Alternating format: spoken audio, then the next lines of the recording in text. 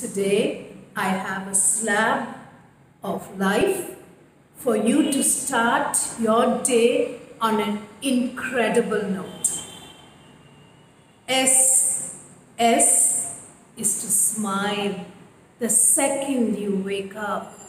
Rub your palms together.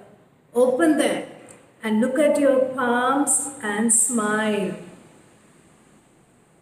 Smile for being blessed with a new day. L is to listen.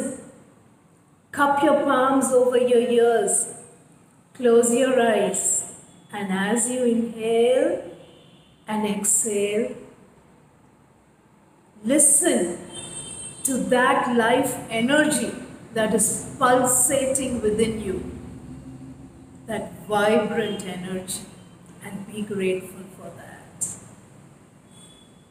And A, always have an attitude of gratitude. That is, be grateful for all the things that you're blessed with. Being able to see a new day, being able to inhale and exhale the fresh air with much ease and comfort, the fresh running water that gushes out of your tap the minute you open them, the food that you have to nourish and nurture your physical body. The list goes on. So be grateful for all the things that you're blessed with. And finally, once you smile, you listen, and you are grateful. The third one, be, that is to be a disco ball.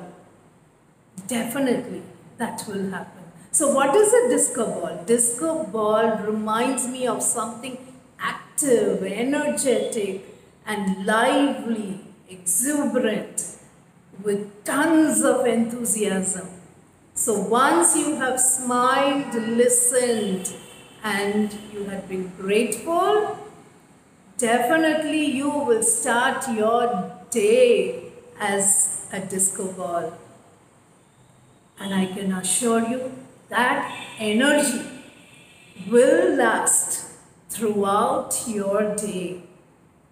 So start your day every day with this beautiful slab of life and have a day as amazing as you are